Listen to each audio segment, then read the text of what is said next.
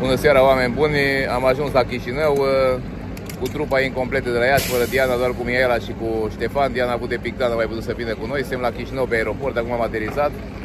Am venit cu Taromo, cu ATR-ul și o să mergem, ne așteaptă ghida, o să mergem la hotel, după care o să facem un tur de oraș.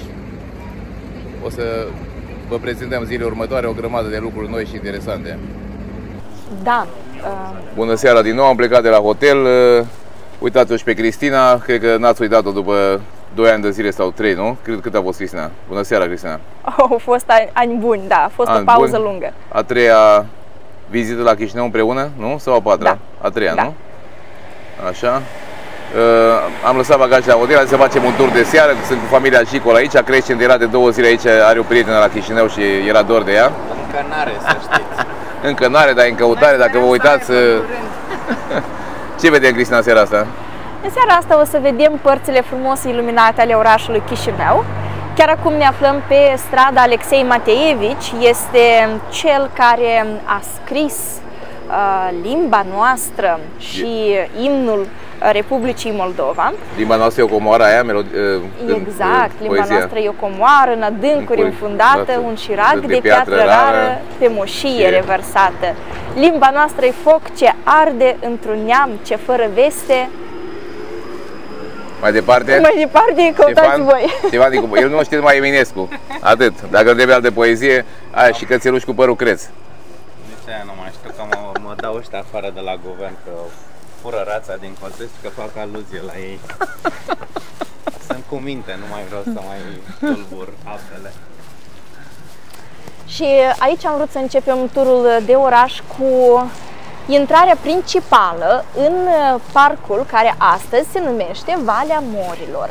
Pe vremuri, parcul acesta a fost uh, numit uh, Parcul Consomoliștilor Consumul.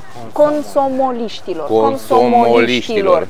Deci, de fapt, este un nume tipic pentru perioada sovietică, pentru promovarea implicării în politică. Erau ranguri diferite, se începea cu rangul de octombrel când mergeai la școală și îți spuneau o, um, nici nu era cravată, da? era un fel de papion Nefram, așa. roșu. Da, papion? așa, exact. la noi ca să înțeleagă lumea. Uh, și treptat, odată cu înaintarea în vârstă, rangul acesta se transforma din octombrel în consumolist și apoi în socialist și am ținut mult să vă aduc anume la această intrare, nu deoarece are o legătură fix cu uh, partea uh, din uh, perioada sovietică, dar pentru că avem aici un monument care mi se pare foarte uh, simbolic pentru poporul Republicii Moldova și acesta este monumentul dedicat uh, Doinei și lui Ion al de Teodorovici. Aceștia au fost, uh, a fost un cuplu de artiști din anii 90 care au luptat, nu? exact, da, au murit în accident și Uh, eu sper că uh, florile pe care le vedem aici demonstrează de fapt că poporul încă ține la ei, îi ține minte. Fiul lor, acum, Cristian de Teodorovici, a mers uh, pe urmele părinților pentru că cântă și el, da, și chiar are în repertoar și unele piese din repertoarul părinților săi. Deci m-am gândit că acest loc este unul simbolic pentru noi, pentru că acest cuplu tânăr a fost entuziasmat și a ținut să lupte pentru independența Republicii Moldova, pentru revenirea la limba română scrisă cu alfabetul latin. Au fost unioniști. Ei au, au luptat foarte mult pentru unirea Basarabiei cu România și au cântat în sensul ăsta, au promovat, au imediat după căderea Uniunii Sovietice, asta a fost munca lor să unească cele două zone considerate Hai să nu stăm aici, că e și întuneric să-și aude muzică, hai să ne mișcăm. Da, este adevărat uh, că uh, pentru ei a fost foarte important să revină la legătura noastră istorică. Când am zis independența Republicii Moldova, m-am referit mai mult la ieșire de sub Uniunea Sovietică, Sovietică, pentru da, că așa da. era atunci uh, principala problemă cu care ne confruntam atunci. Uh, și, uh, de fapt, vis-a-vis de această intrare în uh, parcul pe care îl numim astăzi Valea Morilor, uh, se află Universitatea de Stat din uh, Chișinău, prima universitate care a fost construită în Chișinău. Uh, Noi vom traversa strada Alexei Mateievici uh, și vom merge la stânga, ne vom apropia de un turn. Uh, Este o clădire înaltă, îngustă, o vedem iluminată, uh, culorile se schimbă, uh, roșu, acum este mov, este transformare de la roșu la albastru, de fapt. De fapt, ar trebui să fie culorile tricolorului, sunt niște culori simbolice alese pentru iluminarea unor clădiri istorice din orașul Chișinău. Și acest turn vreau să vă dau un exercițiu. Haideți să ne gândim ce, putea să, ce rol putea să aibă această clădire. Pot să vă sugerez că a fost ridicat în secolul XIX. Ne aflăm totuși pe, unul dintre, cele, pe una dintre cele șapte coline pe care se află orașul Chișinău. Deci ne aflăm pe vârf de deal, primele case din localitatea Chișinău au fost construite totuși la poalele dealului, lângă o râul Bâc. de la Bâc. de incendii, de se vadă focul de departe? Hai să mai așteptăm și alte variante. Întreba Cristina care ghicește pentru ce a fost construit turnul ăsta în secolul XIX. Eu am, s- eu am să vă ajut Păi am să... zis eu de pompieri și a zis că nu e. Nu, nu este. Eu am să vă ajut, uh, am să vă mai dau indicii. Deci, cum ziceam, primele case au fost construite uh, totuși lângă râul Bâc, uh, dar atunci când trebuia să fie transformat uh, uh, orășelul Chișinău într-un oraș și într-o capitală, aici se, au început să se mute boieri uh, dintr-o pătură economică mai uh, uh, avansată și casele lor nu erau construite lângă râu, pentru că acolo erau case. Așa, bună idee, turnul de apă, corect. Deci anume pentru a aduce apa în casele celor care locuiau mai departe de râu, dar mai departe de râu noi aici suntem chiar pe vârful dealului anume pentru a aduce apa în casele oamenilor, Alexandru Bernardați, care a fost arhitectul principal uh, al orașului Chișinău pentru aproape 30 de ani, a construit două astfel de construcții. Turnul de apă. Astăzi, în acest turn de apă, nu, acest turn de apă nu mai are aceeași semnificație și același rol pe care l-a avut cândva. Astăzi, în această clădire, este organizat Muzeul de Istorie a orașului Chișinău. Este un muzeu împărțit în patru nivele. De la ultimul nivel putem observa orașul Chișinău de sus. Este un muzeu cu o taxă absolut simbolică de 10 lei moldovenești. Asta ar însemna cam 50 de cenți, 50 de cenți euro. Uh, și la primele uh, etaje, la primele trei etaje ale acestui turn, uh, sunt organizate expoziții cu poze istorice în care vedem evoluția orașului Chișinău și transformarea sa dintr-un sătuc într-o, într-o capitală, cum îl cunoaștem astăzi. Din păcate, în orașul Chișinău nu s-au păstrat multe clădiri istorice care au supraviețuit celui de-al doilea război mondial. Inițial, Alexandru Bernardați a construit două astfel de turnuri în Chișinău pentru a aduce apa în casele locuitorilor, locuitorilor Chișinăului.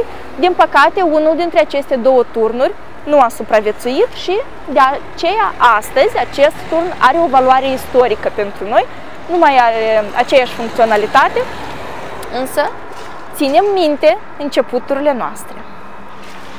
Sediul OSCE de acolo din am înțeles că acolo este sediul OSCE pentru Moldova, Organizația pentru Securitate și Cooperare în Europa, Da. care previne conflictele din uh, spațiile astea mai fierbinți. și acolo da. e un sediu foarte mare, clădirea aia frumoasă cu coloane de acolo. Da, din păcate nu este iluminată deocamdată, da, pentru că noi acum încă suntem în proces de um, dezvoltare a acestui proiect de iluminare nocturnă a clădirilor istorice. Uh, da, și deoarece este o clădire recent construită, nu o vedem astăzi iluminată, însă, într-adevăr, pe timp de zi, uh, privirea noastră este atrasă de clădirea OSCE. Uh, și, de fapt, pe strada pe care ne aflăm acum sunt foarte multe ambasade. Chiar aici vedem ambasada Statelor Unite ale Americii. Puțin mai, mai Uh, mai departe, pe aceeași stradă, este și ambasada uh, Germaniei. În uh, partea opusă, deja mai aproape de OSCE, avem ambasada Republicii Turce. Deci sunt foarte multe ambasade concentrate pe această stradă. Oricum e interesant că au păstrat arhitectura clădirilor din jur, adică prin construcția clădirii ăștia care e destul de impozantă, este făcută cu bani europeni, adică asta trebuie să știm e o organizație europeană.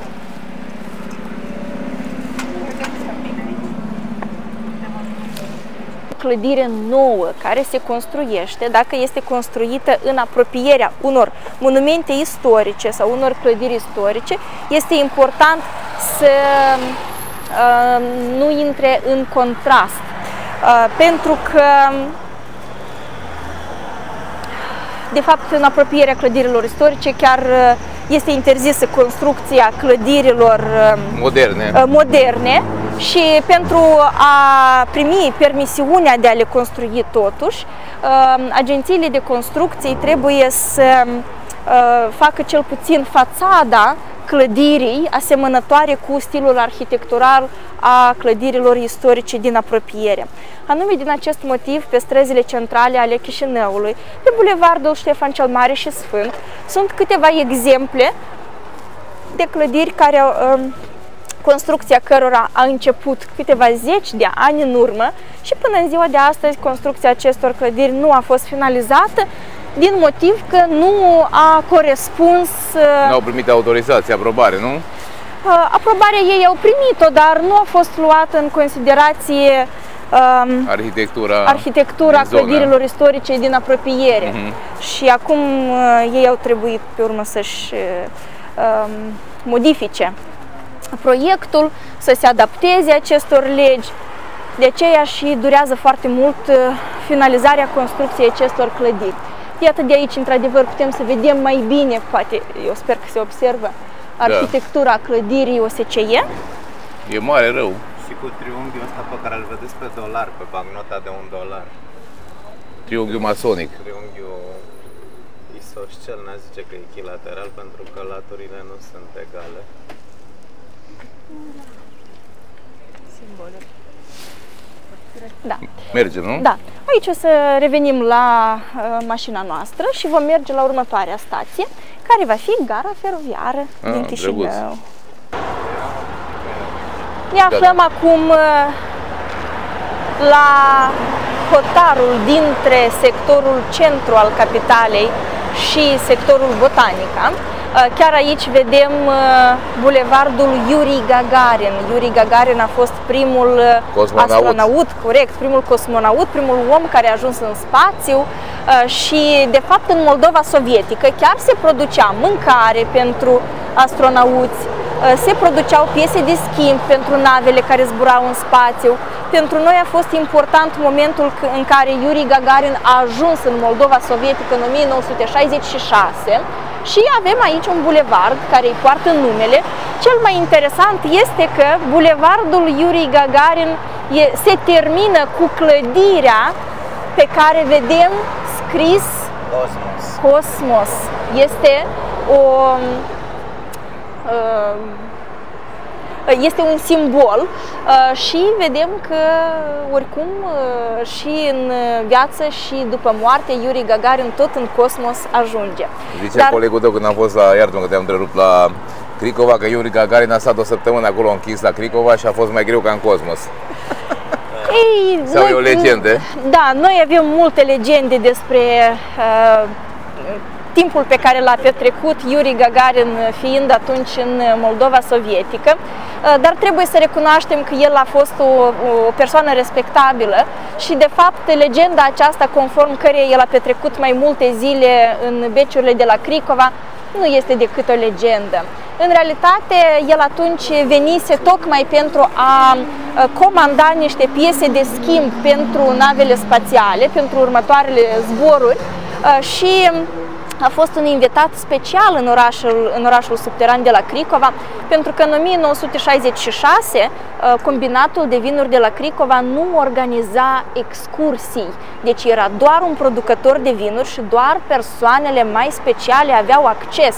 Iar Yuri Gagarin a fost invitat anume pentru că după ce a cucerit spațiul, trebuia să se convingă că există și spațiul subteran de descoperit, iar Uh, el a fost, de fapt, invitat în a doua jumătate a zilei, după ce și-a terminat toate treburile pe care le avea de făcut, iar uh, degustarea pe care i-au organizat-o s-a terminat cu doar câteva minute mai târziu de miezul nopții. Iar el fiind punctual, dar și cu simțul umorului, a notat adevărul că a început excursia sa, pe, că a intrat în orașul subteran pe 8 octombrie, iar a ieșit pe 9 octombrie. Uh, ceea ce a făcut oamenii să creadă că el a petrecut acolo mai multe nopți și mai multe zile este faptul că semnătura sa este în cifre 8, 9, 10 66. 10 reprezintă de fapt luna 10, dar alții preferă să creadă că el a stat 3 zile la rând.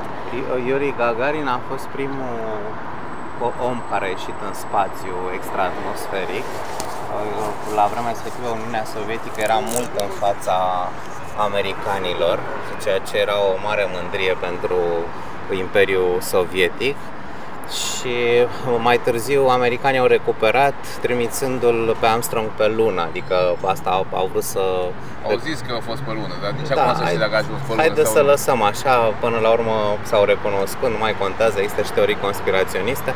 Important e că Yuri Gagarin a fost primul om trimis de Uniunea Sovietică, deci de Imperiul ăsta comunist care domina foarte multe țări, inclusiv Republica Moldova și uh, ei au reușit uh, asta, să trimită un om în spațiu. Uh, pe, pe măsură ce computerele s-au dezvoltat, uh, Uniunea Sovietică, rămânând în urma competiției uh, chipurilor, n-au mai putut să trimită mai mult de atât, adică n-au putut să trimită nimic pe lună. Americanii s-au dezvoltat pe linia asta a chipurilor și au putut să trimită în 1968, au trimis pe oameni pe lună.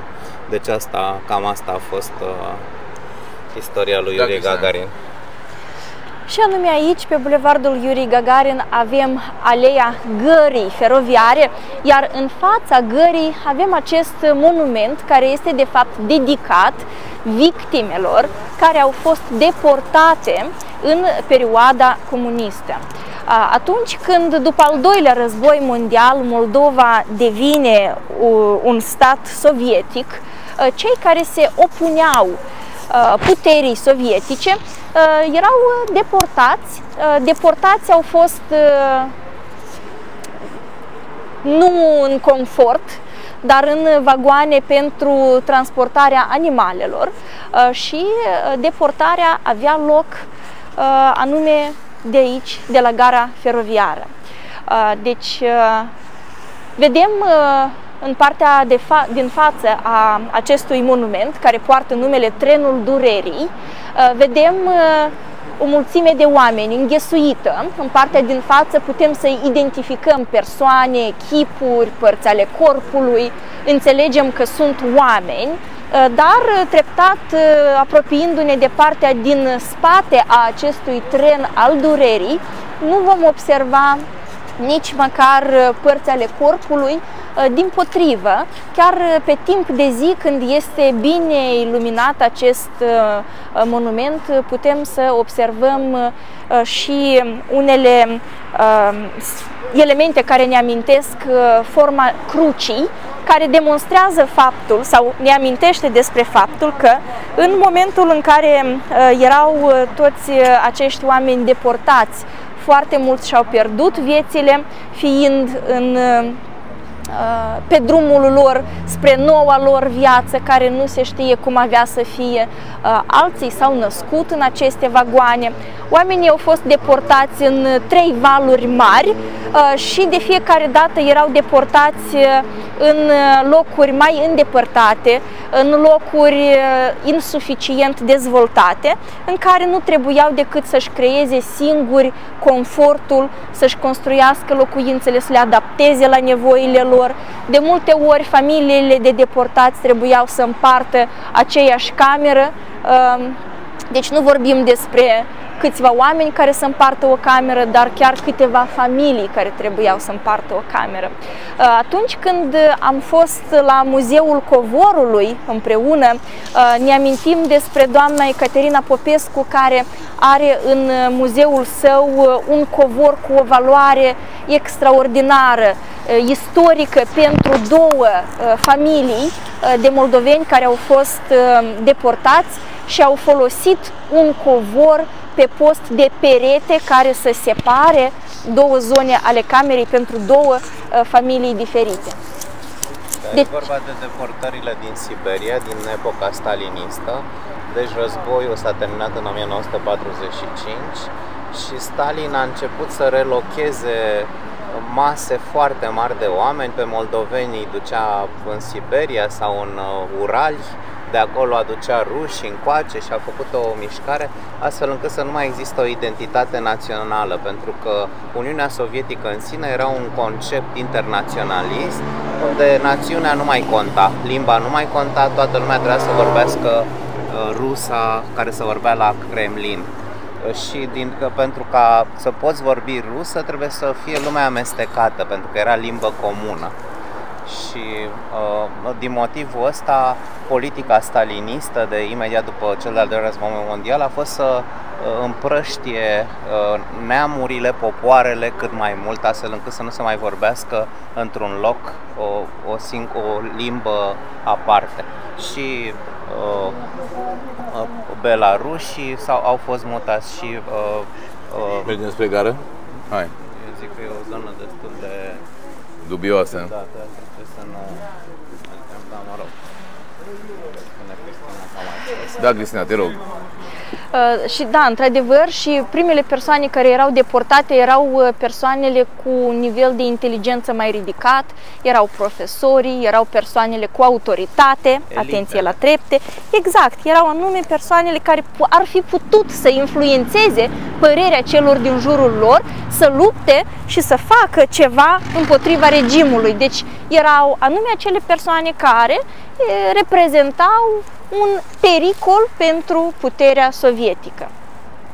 Am ținut să vă aduc la gara feroviară pentru că este și ea una dintre clădirile istorice care este iluminată pe timp de uh, noapte Uh, gara feroviară a fost uh, construită pentru prima oară în uh, secolul, sfârșitul secolului XIX, în anii 70, dar la început nu exista decât o conexiune dintre orașul Chișinău și orașul Tiraspol. Mai târziu apare și legătura cu Odessa, iar treptat apar legături cu alte orașe, Ungheni, iar apoi Iași. Astăzi, la gara feroviară, de la gara feroviară, Uh, pornesc uh, uh, trenuri care duc spre două orașe din România. De două ori pe zi avem o legătură feroviară cu Iași, gara Socola și nu pot să zic exact de câte ori pe zi avem, de câte ori pe săptămână avem trenul care merge spre București, Însă anul acesta Zdob și Zdup a cântat a, despre trenurețul. Da, da, a fost foarte simpatic. Așa, trenul de la Chișinău spre București. Da. Trebuie reținut. Hei, ha, nu, cum era melodia. În tot uh, Imperiul Sovietic, în toată Uniunea Sovietică, uh, distanța între șine e mai mare decât în restul Europei. Sunt, distanța între șine se numește ecartament și transferul trenurilor Uh, din Uniunea Sovietică spre Europa se face schimbându-se boghiurile. În, uh, deci la totdeauna la graniță se ridică vagoanele și se schimbă boghiurile, să pun mai înguste distanța dintre roțile boghiului uh, să fie mai mică, pentru că sistemul feroviar rusesc, vechi, țarist și ulterior sovietic, avea o altă dimensiune decât tot sistemul din uh, Europa. Asta a încetinit foarte mult armata germană în al doilea război mondial, care trebuia să-și schimbe roțile de câte ori intrau pe teritoriul sovietic, eu vorbesc pe tine ca să cai microfonul, și a ajutat Uniunea Sovietică chiar prin această diferență de, de, de șine diferite, pentru că ele nu se potriveau. Și uh, Republica Moldova a rămas în continuare cu uh, aceste, acest sistem care e universal. Este și în Ucraina, și în Belarus, și în uh, țările Baltice, și în Rusia. Și mă rog, asta ar fi o, o, o caracteristică a sistemului feroviar rusesc. El este foarte uh, trenurile rusești și, mă rog, din zona culturală rusă sunt foarte ornate, foarte uh, cu foarte multe ornamente ciudate pentru noi, pentru noi europenii care suntem mai mult obișnuiți cu cultura euro- europeană, mi se par foarte ciudat. Uh, există transiberianul, mă rog, cine vrea să se uite pe internet să vadă cum arată. Și metroul din Moscova, care păstrează cumva, e și mai împopoțonat, ca să zic așa, decât... Uh, Hai să revenim la gara din Chișinău, pentru care da. suntem aici. Da.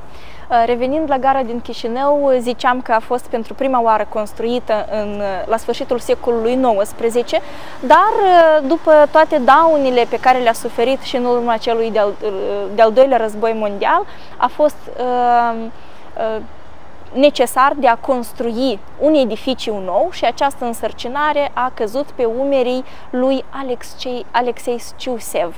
A fost un basarabean, de fapt a fost născut la Chișinău, însă în perioada uh, Imperiului uh, rus și acesta a fost uh, ulterior a avut și cetățenia Uniunii Sovietice și anume acesta a fost însărcinat să uh, schițeze uh, arhitectura, felul în care urma să arate gara feroviară.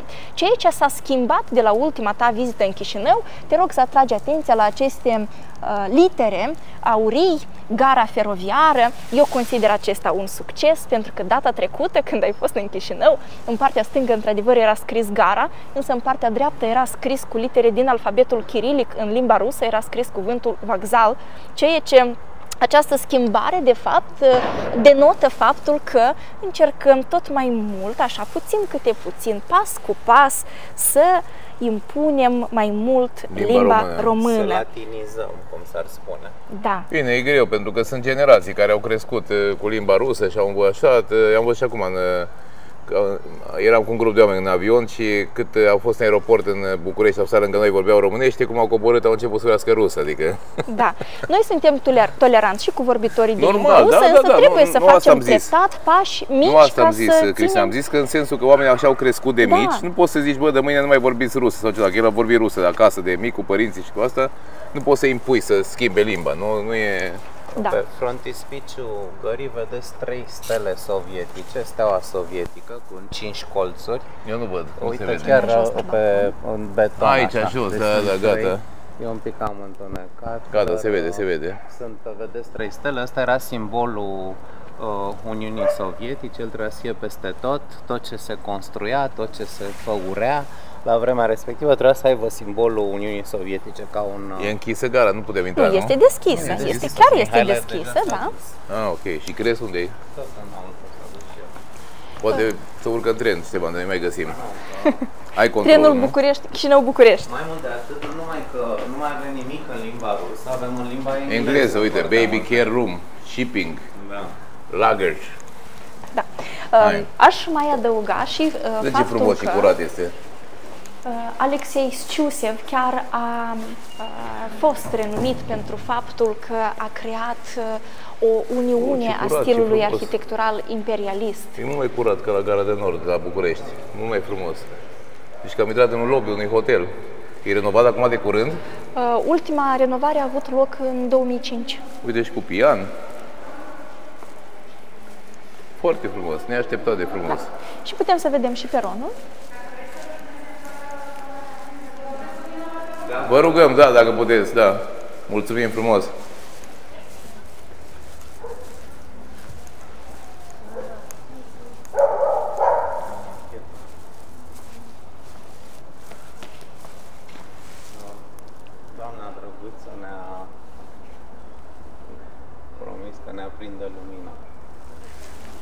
Bine că nu suntem cu Rubi, că Rubi stingea lumina.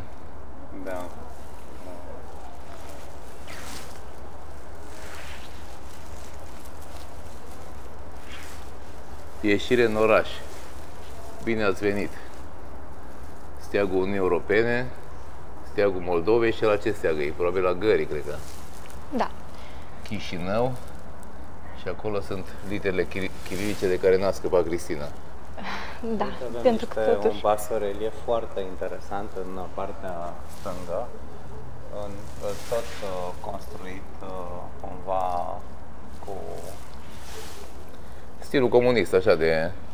da, Da. istoricul feroviar și până în zilele noastre.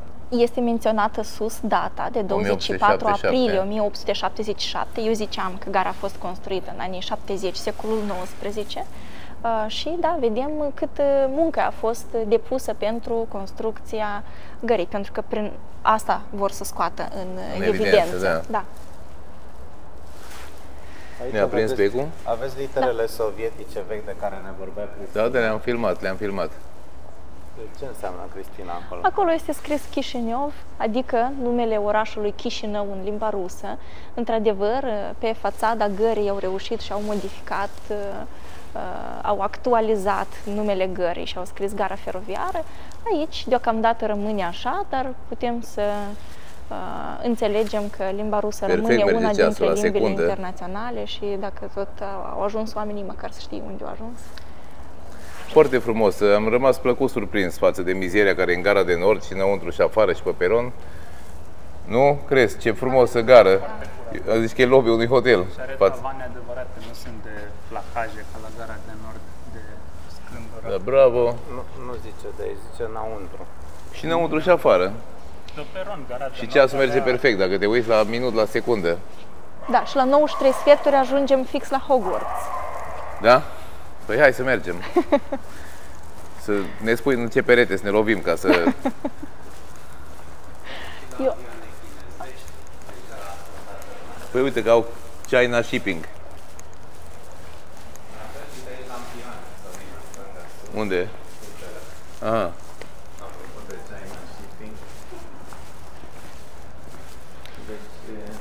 Și aici ce zice? Spațiu sigur pentru femei. Deci aici pot să vină femeile știi că nu le agresează nimeni. exact. Oficii evidență străini. Revenind la uh, șinele și la lățimea șinelor, trebuie să menționez că trenul care merge de la Chișinău la Iași nu își schimbă șinele, fix până la gara Socola există această lățime de șine. În schimb, pentru trenul Chișinău-București există o pauză semnificativă pentru a uh, muta uh, vagoanele pe altă uh, linie feroviară. Altă linie, se schimbă Pe altă- bogiurile. În România nu există ecartamentul ăsta. Și să se ridică vagonul și se schimbă uh, roțile. Lățimea, da, distanța Se dintre schimbă roți, da. roțile. Alte roți, se pun alte roți. Uh, Durata călătoriei de la Chișinău la Iași cu trenul este de aproximativ 4 ore, costul biletului aproximativ 6 euro pentru o persoană. Durata călătoriei de la Chișinău la București, biletul începe cu 25 de euro pentru persoană și uh, durata de călătorie 13 ore.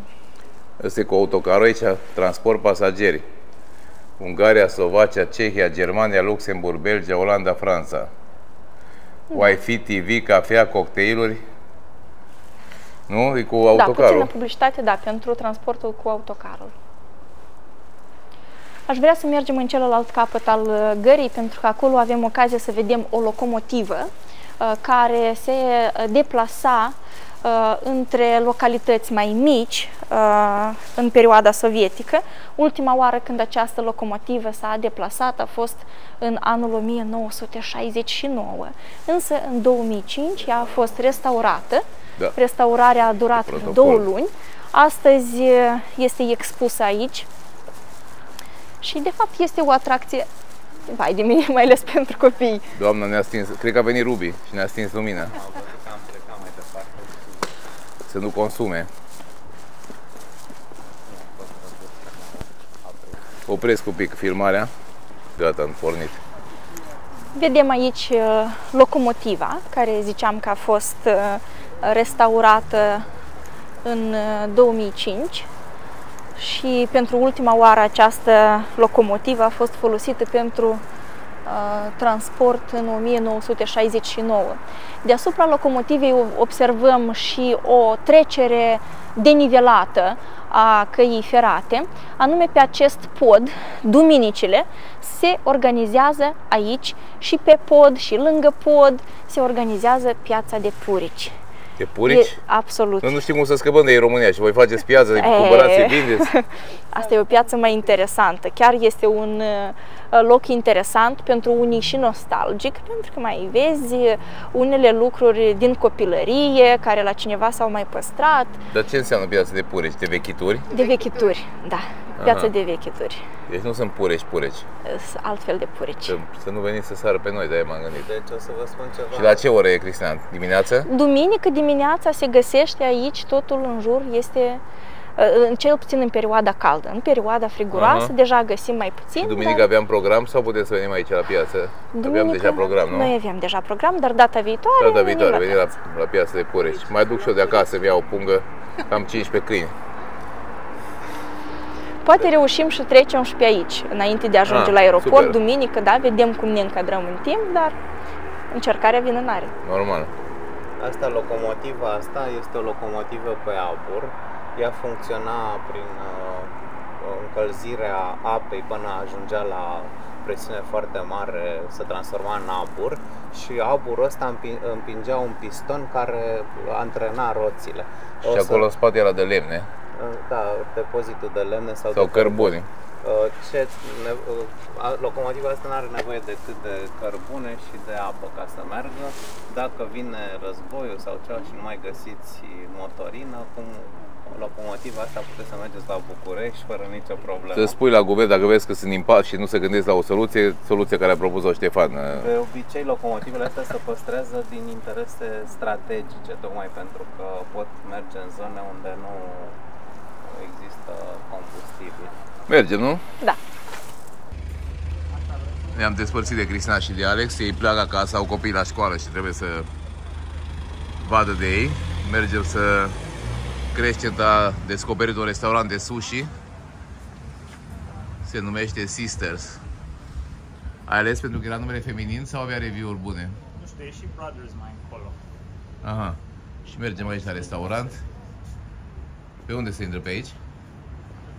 Arată foarte bine. Hai să vedem.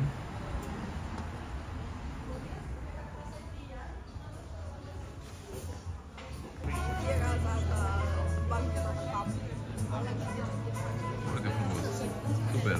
Mulțumim.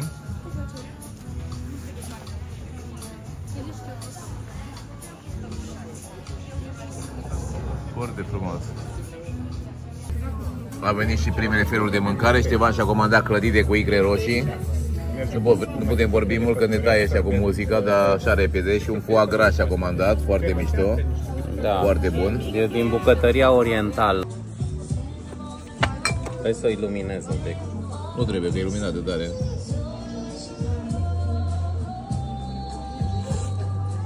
Deci... Te Și cu asta. A venit și desertul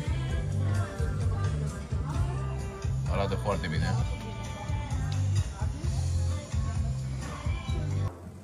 Ne-am întors la hotel. Arată foarte bine hotelul. Vă arăt un pic și camera. Să vedeți.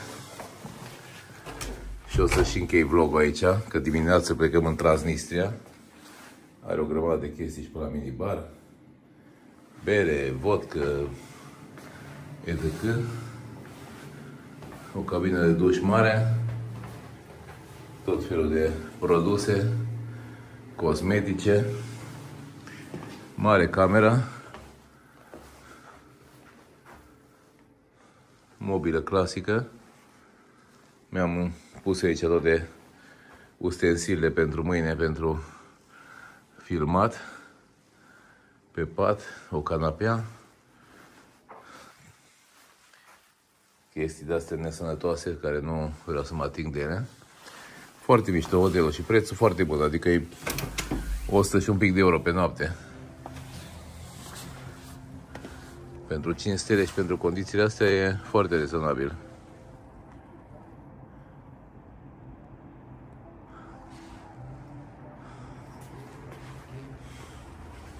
Și închei vlogul aici, că e 11 noaptea.